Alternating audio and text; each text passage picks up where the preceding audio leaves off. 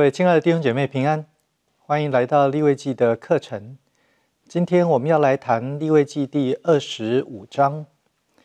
立位记第二十五章在圣经研究的课题里头是很出名的一章经文，它规范了一些非常特别的对以色列社会的要求。在这些要求当中，我们可以非常具体、很清楚的看到神对于属他的百姓的心意。我们先来看前面的一段经文，第二十五章第一节说：“耶华在西乃山对摩西说：‘你小谕以色列人说，你们到了我所赐你们那地的时候，地就要向耶华守安息，六年要耕种田地，也要修理葡萄园，收藏地的出产。第七年，地要守圣安息。’”就是向耶和华守的安息，不可耕种土地，也不可修理葡萄园。一落自长的庄稼不可收割，没有修理的葡萄树也不可摘取葡萄。这年地要守圣安息，地在安息年所出的，要给你和你的仆人、婢女、雇工人，并寄居的外人当食物。这年的土产。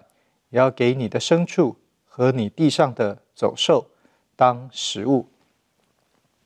谈到安息年，也许我们应该要从第二十三章里头所提到的安息日开始谈起。毕竟安息停止不做工的概念是从安息日里头开始的。上帝的心意似乎是以色列百姓。应该要在每七天有一天的安息，从六日辛勤做工，第七天休息。不管是自己，或者是他的仆人、使女，甚至于是寄居的外人、故宫，或者是牲畜，都必须要休息。各位可以想一想，这个对我们来说，好像不是一件很容易的事。和我们竞争的对手。其他的商家等等，他们都一直不断的在辛勤做工，我们却自动的每七天休息一天，我们的经济生产力就自动减低了七分之一。可是就是在从年头到年尾每七天一天的安息当中，以色列人好像被神教育，被神训练。学会一点点的信心，是在一年从年头到年尾每七天一天的安息日里头，他们看见原来神并没有使我们的收获比别人要短少，我们的日子一样可以过，我们的这一些农作物一样可以在六日的殷勤做工当中有好的照顾。事实上。人反而因为第七天的好的休息，可以重新得力，也可以帮助他在有收获的时候更懂得感恩，他的欢乐也更充足。他其实是有一个非常好的设计和心意在里头的。如果安息日的规定不太困难，就遵守的角度来说，那安息年呢？六年，这里提到要殷勤耕种。这些耕种的过程，不但是田地，是葡萄园，是一切其他以色列人的经济活动。在那六年当中，他必须要努力，他必须要辛勤。到了第七年，要守圣安息。所有的事，不管在六年当中大大小小的工作。到了第七年，通通都要停止。也许对某一些以色列人来说，田地的出产是比较主要的，它的果园等等很可能是比较次要的。当然，会有其他的以色列家庭是反过来的。经文的规范却是，不管你主要或次要收入的来源为何，只要到了第七年，地就必须要守安息。地。如何守安息呢？其实是在这上面耕作的人，是以色列人为了神要地守圣安息的缘故，他必须要停止一切的工作。七年当中有一年，以色列人会因此没有收入。这个跟安息日的规范来比较，显然安息年的要求要多得更多。那从安息日里头培养的信心，到这边必须要面临一个很大的跳跃。那一年从年头到年尾，他都不耕种。那要吃什么呢？这大概是上帝的律法一颁布，摩西一告诉以色列人，我猜他们当中的男男女女第一个会问的问题就是：那我们怎么办？我们的生活如何维持呢？要吃什么呢？如果我们仔细看经文对这个问题的回答，他说。地在安息年所出的，要给你和你的仆人、雇工人、寄居的外人，甚至于牲畜当食物。平常在努力辛勤耕作的时候，我们都担心是不是会有足够的粮食。当到了第七年不需要耕种的时候，这里所出产的，上帝应许要供应给所有的人。这显然是对以色列信心的一个重要的挑战。以色列人要如何可以接受这样子的命令，非常放心、安心的遵守呢？显然必须要靠他在安息日里头所累积的经验，与神同行的过程。因为过去没有缺乏，因为过去六年也的确有守住了安息日，所以到了第七年。他现在可以往前做更大的跳跃。经文的重心，如果我们仔细的看，会发现，其实这里似乎一个以色列人，当他到了安息年的时候，他应该关心的，反而不是他自己生活的问题，因为这里提到地在安息年所出的，会供应给仆人、婢女、寄居的外人等等。经文似乎告诉我们，是与我们一起生活的这一些人，他们的食物、他们的收入、他们生活的好坏，更应该成为我们在安息年里头我们所关注的。而因为我们这么关心这个问题，上帝应许，神说这年的土产，甚至于可以供给牲畜和地上的走兽。不管是家里头所放牧的、所蓄养的，或者甚至于是那一片土地上面生态的维持，这一些都在上帝的保守当中。以色列人到了安息年，其实他会有生活上面的一些担心，上帝却应许他要成为一切祝福的来源。以色列需要学会在信心上面。他们往前跨越的时候，不单相信神顾念他的需要，他更要相信上帝也祝福在他们当中，他们所关心的外人。第八节开始提到了喜年，经文说你要计算七个安息年，就是七七年，这便为你成了七个安息年，共是四十九年。当年七月初十日，你要大发脚声，这日。就是赎罪日，要在遍地发出脚声。第五十年，你们要当作圣年，在遍地给一切的居民宣告自由。这年必为你们的喜年，个人要归自己的产业，各归本家。第五十年要作为你们的喜年，这年不可耕种，地中自长的不可收割，没有修理的葡萄树也不可摘取葡萄，因为这是喜年。你们要当做圣年，吃地中自出的土产。如果我们刚刚在前面一到七节有关安息年的规范里头，觉得有一点担心，生活可能是问题，那到了七七四十九年之后的这个圣年第五十年，也就是喜年的规范的时候，我们会发现，上帝要求我们。有更深刻的回应。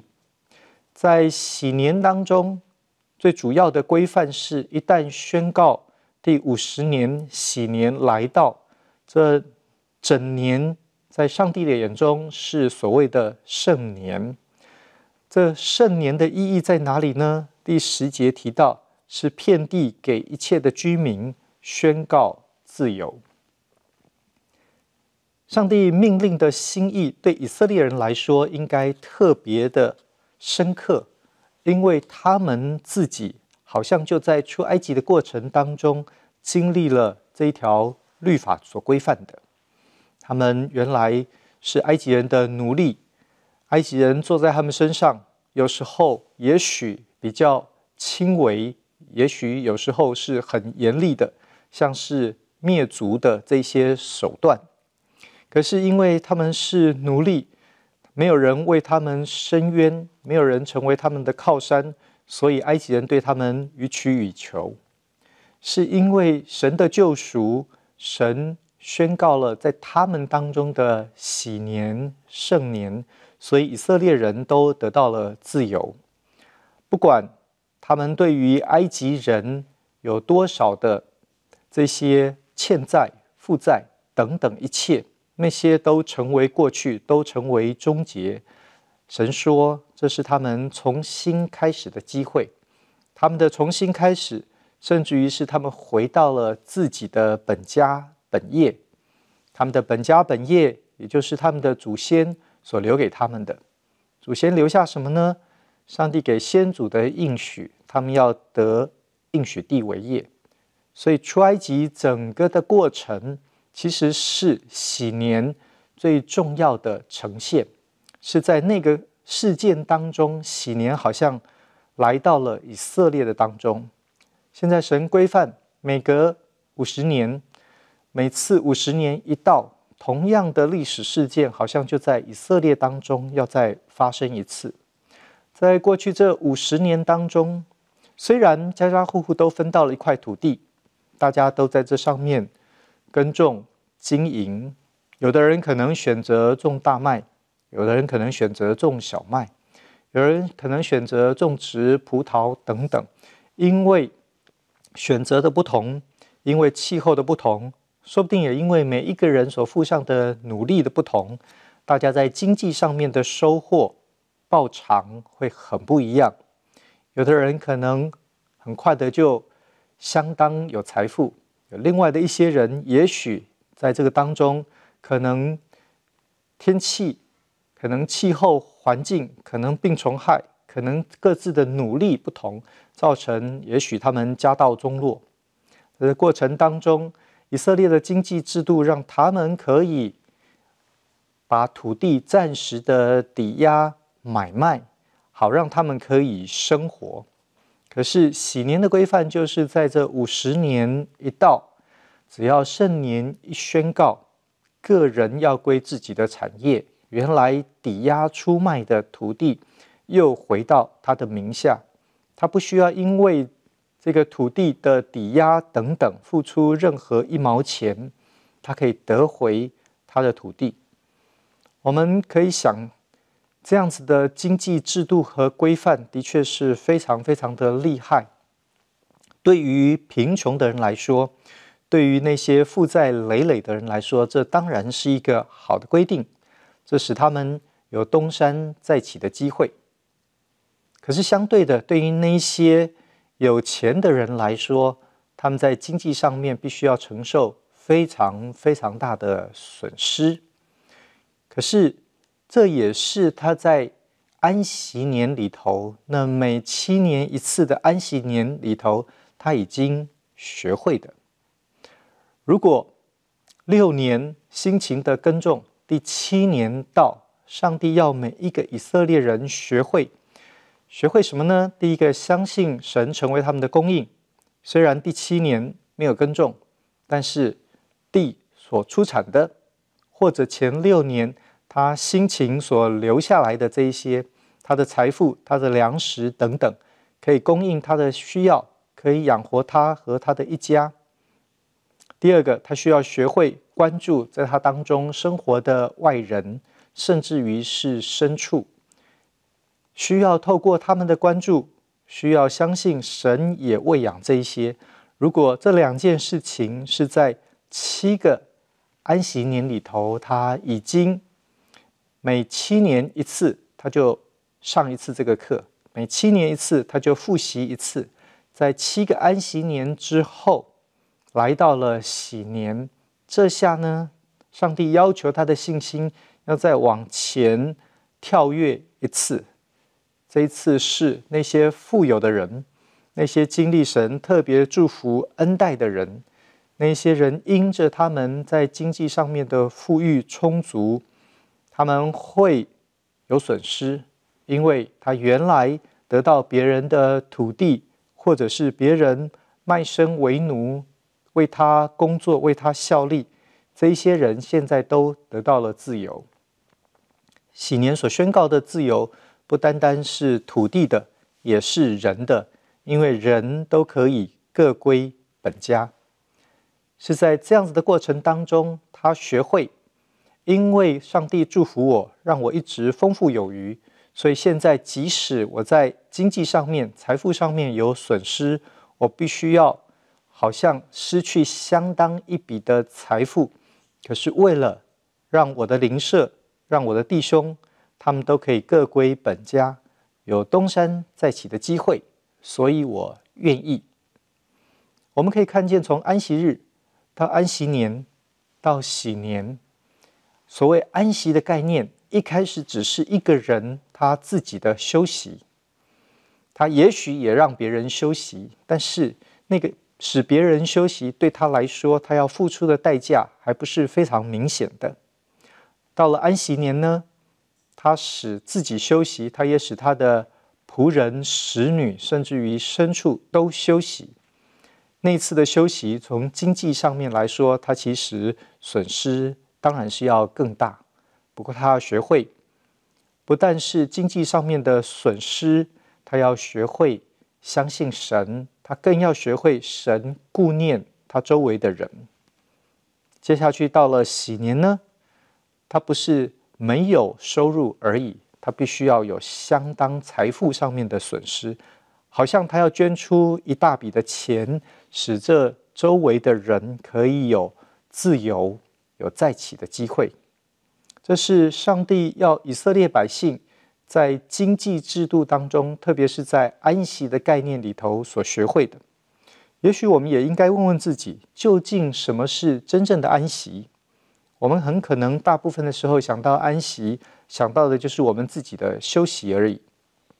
可是立位记第二十五章规范安息不是这样，安息是在休息当中认识神，是使人得自由的神。这自由使我们疲倦的身体可以更新，可以复原，更是使我们周围的人可以可以跟我们一起享受上帝的保守，上帝的供应。